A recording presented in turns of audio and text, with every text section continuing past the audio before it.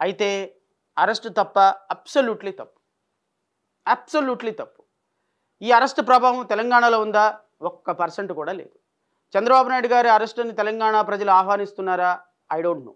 వాళ్ళు సపోర్ట్ చేశారా లేదా నాకు తెలీదు.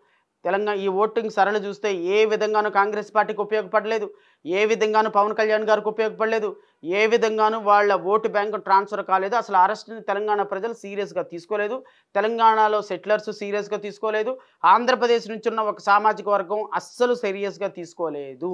కాబట్టి ఈ అరెస్ట్ తప్పందామా? రైట్ అందామా? అబ్సల్యూట్లీ తప్పు. ఎందుకు తప్పు అంటే ఒక ప్రతిపక్ష నేతగా పద్నాలుగు సంవత్సరాలు ముఖ్యమంత్రిగా పనిచేసి నలభై ఐదు సంవత్సరాల సుదీర్ఘమైన రాజకీయ అనుభవం ఉన్నటువంటి ఒక డెబ్భై మూడు సంవత్సరాల ఒక వ్యక్తిని కేవలం ఆధారాలు లేకుండా అరెస్టు చేయటం అనేది పూర్తిగా తప్పు. ఈ పూర్తిగా తప్పైనటువంటి ఇలాంటి రాజకీయ వ్యవస్థలో ఖచ్చితంగా దీని మీద జరిగేటువంటి అరెస్ట్ మీద జరిగేటువంటి ఒక ప్రతి ఒక్క రిప్లికేషన్ తెలంగాణలో ఒక్క పర్సెంట్ కూడా పడలేదు కానీ రేపు ఆంధ్రప్రదేశ్ మీద చాలా తీవ్రమైన ప్రభావం చూపించబోతుంది. That is what I wanted to make a point ఎంత సీరియస్ ప్రభావం చూపించబోతుంది అంటే ఇది అబ్సల్యూట్లీ రాంగ్ ఇది ప్రజలు ఎలా తీసుకుంటారు ఆంధ్రప్రదేశ్ ప్రజలు అనేది మీరు రెండు వేల ఇరవై నాలుగులో చూడండి.